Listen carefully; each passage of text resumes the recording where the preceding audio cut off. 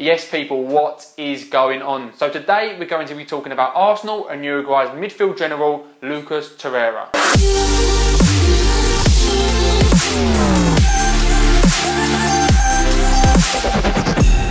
The 22-year-old defensive midfielder has been brilliant since he came into the team at Everton and is looking like he could be one of Arsenal's best signings over recent years. Arsenal fans have been pleading for a quality defensive midfielder ever since Vieira left and they may have found one in Torreira. Sure, only time will tell whether Torreira will go on to emulate the success of Vieira, but there is no doubt Torreira has had a significant impact on the Arsenal team so far. Torreira began his footballing career at his local side 18 de Julio before moving on to Montevideo Wanderers of the Uruguayan Premier League. In the summer of 2013, it was Italian Serie B side Pescara who brought the young Uruguayan over into European football. However, it wasn't until the 16th of May 2015 did Torreira make his professional debut against Varese, Following his debut, Torreira remained ever present in the Pescara squad, helping them reach the Serie B playoff final where they just fell short to Bologna. Having only made five appearances for Pescara's first team, it was Sampdoria who had seen enough to take a chance on a young Torreira. The following season, Torreira was loaned back to Pescara in order to gain first team experience. His first full season as a professional was a successful one. Not only was Torreira a key player throughout the season, but he also helped Pescara win promotion to Serie A. Torreira returned to Sampdoria and was immediately thrown into the heart of their midfield. At Sampdoria, Torreira established himself as one of the brightest prospects in Italian football. But it was not until the 2018 World Cup did Torreira burst into the spotlight. Torreira was one of the standout players for Uruguay. His energy and robust style caught the eyes of many of Europe's top clubs. Although it was Arsenal who managed to secure the signature of Torreira for a fee of £26 million.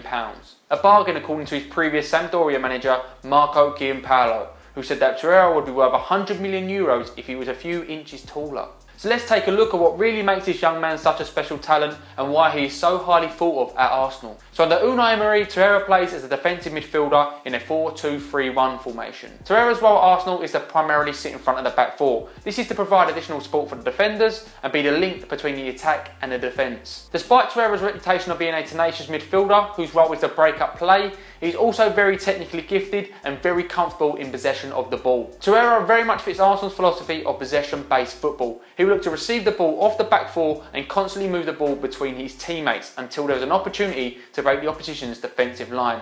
This is very similar to Jorginho's role at Chelsea. But what Torreira possesses that Jorginho and Xhaka don't have is the ability to carry the ball forward and bring his team further up the pitch. Despite being only 5 foot 5, Torreira is incredibly athletic and this athleticism enables him to carry the ball and break the opposition's defensive line. If you watch Marco Verratti at PSG, it's no coincidence why the two players are constantly compared to one another. So when the opposition are in possession of the ball, Torreira is a nightmare to play against. He is a defensive minded player who is very good at stopping the opposition's attacks. His ability to read the game enables him to break up the opposition's attacks when they look to play through Arsenal defensive lines.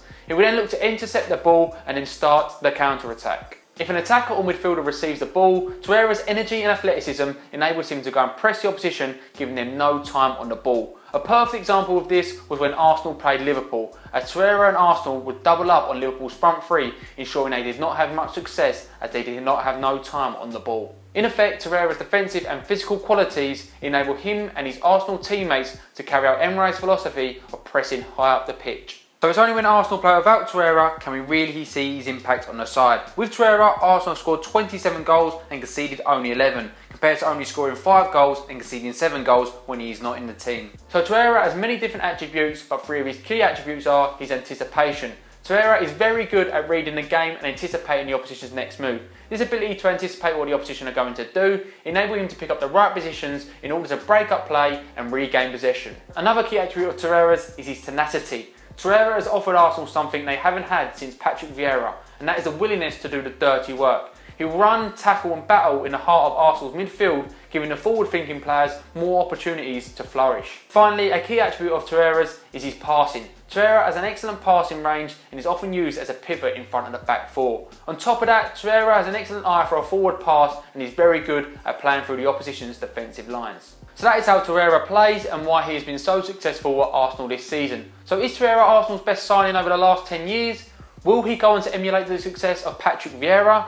Let me know in the comment section below. But once again, don't forget to like and subscribe for more upcoming videos. And until next time, peace.